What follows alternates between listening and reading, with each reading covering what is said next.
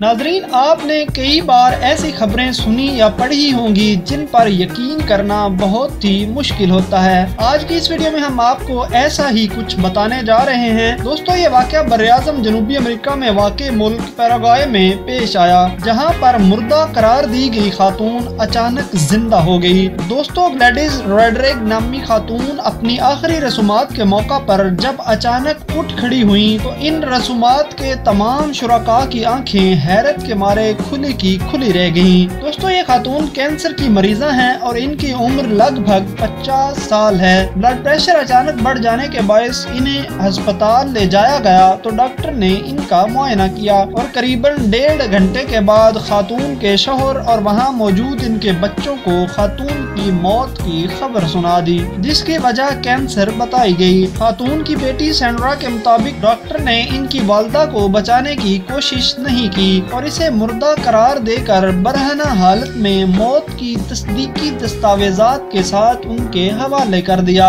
मुर्दा करार दी गई खातून को अस्पताल से ले जाने के बाद जब उनकी आखिरी रसूमात की अदायगी की तैयारियाँ शुरू की गई तो वो अचानक उठ खड़ी हुई और ताबूत के अंदर हिल रही थी, जिसको देखकर उन्हें फौरी तौर पर अस्पताल मुंतकिल किया गया, जहाँ वो जेर इलाज हैं और मुसलसल रू बसेहत हैं। दोस्तों, ये थी आज की वीडियो। उम्मीद करते हैं कि आपको पसंद आई होगी। चैनल को सब्सक्राइब कर लें और अगली वीडियो तक के लिए अल्लाह हाफिज।